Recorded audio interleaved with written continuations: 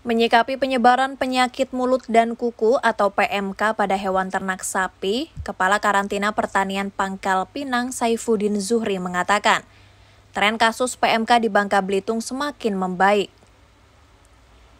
Instansi terkait telah melakukan pengawasan ketat untuk membendung penyebarannya. Saifuddin mengatakan saat ini sudah ada pelarangan untuk memasuki sapi dari daerah yang terkena wabah PMK, yakni Provinsi Jawa Timur dan Aceh.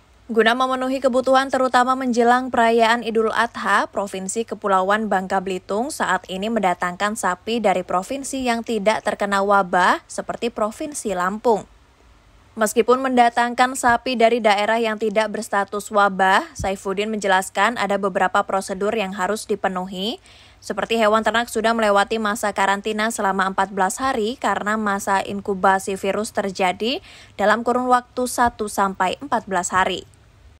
Uh, untuk sekarang ini uh, dengan adanya surat edaran Kepala Badan uh, ada pelarangan pemasukan dari daerah wabah yang telah ditetapkan yaitu dua provinsi ya Pak. Yang pertama Jawa Timur dan Aceh.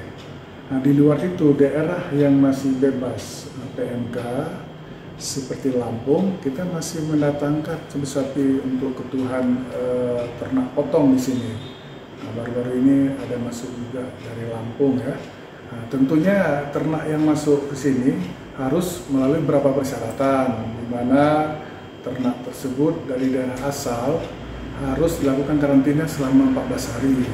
Nah, supaya eh, jangan nanti ternak itu siapa tahu dia ada terindikasi PMK, kalau memang nanti langsung ke sini tidak melalui masa karantina sana, nanti masa inkubasi dari virus itu kan 1 sampai 14 hari. Jadi kalau di daerah asal sudah lakukan karantina, ya mudah-mudahan di daerah tujuan tidak akan e, menimbulkan gejala lagi ataupun tidak ada lagi penyakit mulut kuku. Dari Kota Pangkal Pinang, Muhammad Rizky, TVRI Bangka Belitung melaporkan.